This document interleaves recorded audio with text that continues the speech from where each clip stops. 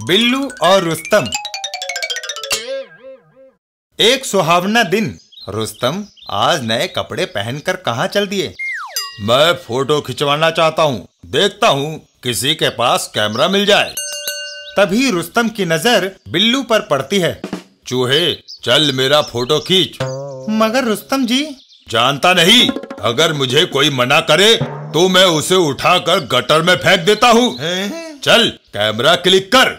बिल्लू बेचारा डर के मारे अपना कैमरा क्लिक कर देता है और कैमरे में से रंग की फुहार निकलकर रुस्तम के ऊपर पड़ती है।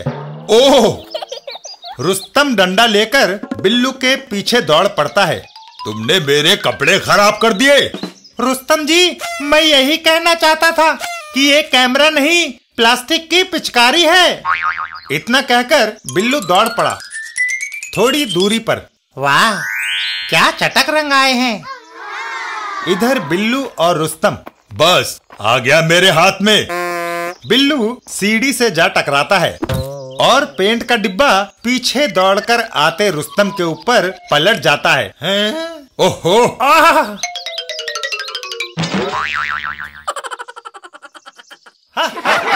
होली है